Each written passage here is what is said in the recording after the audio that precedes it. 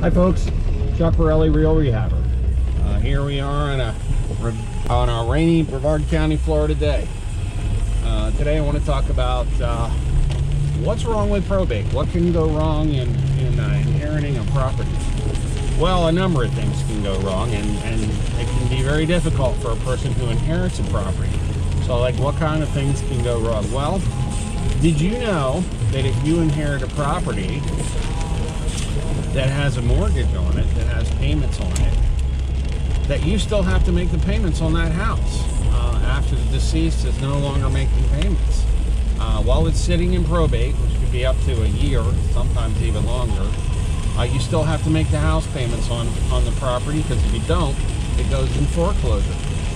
Uh, sometimes the property may have more money owed on it than, um, than what, it's, uh, what it's worth. Uh, property may be a long ways away from the person who inherits the property.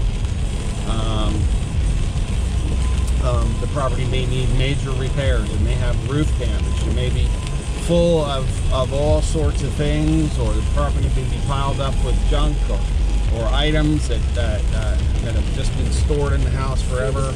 Um, it can be a real nightmare for a person who receives a property because now suddenly they've got utility bills they have to take care of. Uh, maybe they have bad renters in that house they have to deal with. So there's a lot of things that can go wrong when you um, when you have a house uh, when you when you inherit a house. Sometimes it's all great and sometimes not.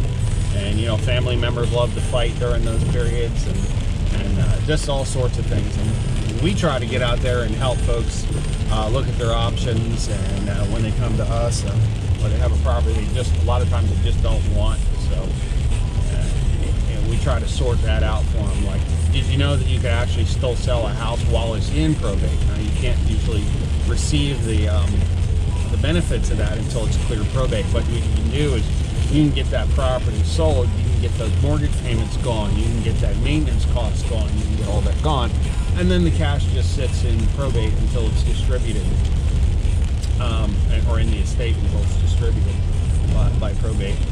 Um, anyway, if you have a house you need to sell in Brevard County, Florida, or anywhere in Florida, uh, if you need help or you're in a situation you just don't know how to get out of, give us a call. Uh, we'll give you straight information. We'll talk to you like like we're friends because that's what we are. Um, uh, we are a, a, valuable service for folks, and, and we try to we try to help you. Uh, if you're interested in rehabbing or you're interested in real estate please uh, please please please share our videos so that others can learn. Um, have a great day and happy rehabbing.